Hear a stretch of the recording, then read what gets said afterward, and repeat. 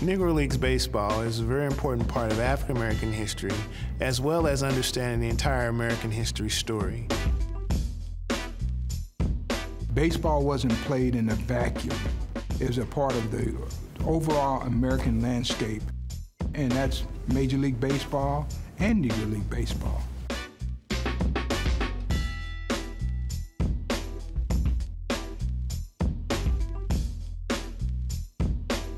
Black baseball players are not immune to the troubles of African Americans in our society.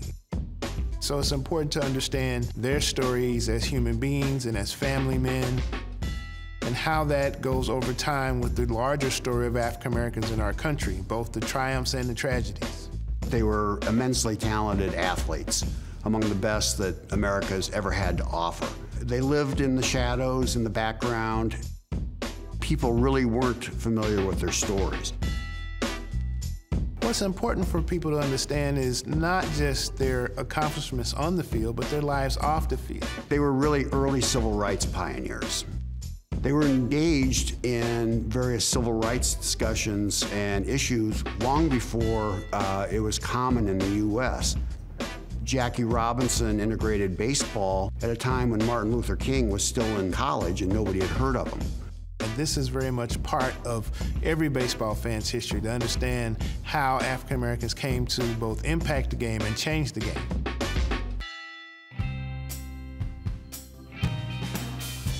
So black baseball players in the 20s, 30s, and 40s were aggressive baseball players. They had a lot of speed, they had power, they had all the things that you would see in white baseball, but they certainly did it exponentially in some areas, um, especially the speed game. The style of play was aggressive, it was creative. Although they didn't give black people uh, credit for being great thinkers on the ball diamond, that's the reason why a lot of white teams lost because they underestimate the uh, mental ability of these black teams even though you might not have heard of them. They had lots of experience in the game and they were playing for some brilliant managers. It was something that drew thousands of fans from all across the country and of course in international settings as well. They faced discrimination wherever they went. Lodging and eating were two of the biggest obstacles there's a period in our country, especially across the Midwest, where traveling while black was always dangerous. There were Jim Crow laws, there were black codes, often they were unwritten. Local customs, like a black person couldn't be out after uh, dusk or before dawn. Historians have described as sundown towns. You were out after a certain time and they didn't know what you were doing, you could be subject to questioning and arrest and so there were curfews on people. Uh, and for a, a, baseball team traveling, uh, whose schedules could be kind of erratic, you had to know where it was safe to go. You know, you read about the Green Book. The book would list uh, hotels they could sleep at, restaurants they could eat at, gas stations where they could fill up gas. Any black baseball team could have written the Green Book because they were road warriors. So it was a very difficult road where they had to be innovative, creative, and persevere. Racism and segregation affected them, and all they wanted to do was play baseball. So we want to be a resource for that. We want to be a place where people can come, learn, and understand those issues as well. And by doing so, you'll meet some very interesting characters, but also some great, talented baseball players.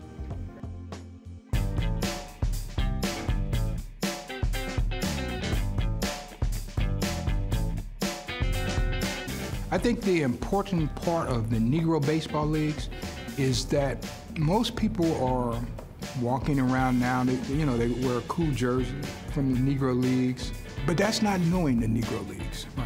You need to know their story, the story of how these men persevered and, and the struggles they had to go against just to be successful. So we're very fortunate uh, at the museum to have uh, the artwork from Graig Kreindler uh, through uh, the generosity of Jay Caldwell.